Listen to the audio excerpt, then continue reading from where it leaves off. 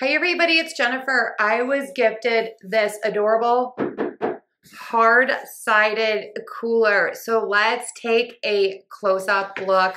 I am loving this one. Here is this 12 quart insulated cooler up close. Really, really loving this. So the shoulder strap is nylon and it is adjustable from 30 to 50 inches and you can carry a load up to 20 pounds with it.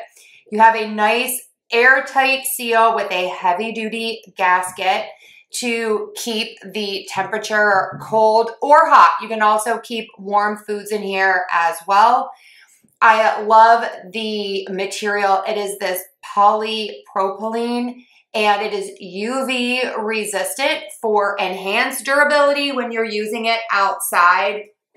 I love that this is like a double walled insulation. It fits a ton and it is super easy to carry on the go. A few of the things that I really love about this is that this fits right between my seats in the car. That makes it nice. You can use this as sort of an extra table with the lid closed even. And of course, this is perfect for when you're having a picnic because the lid flips over and you can use it as a table. I am loving this. It's super cute and really high quality. Check it out.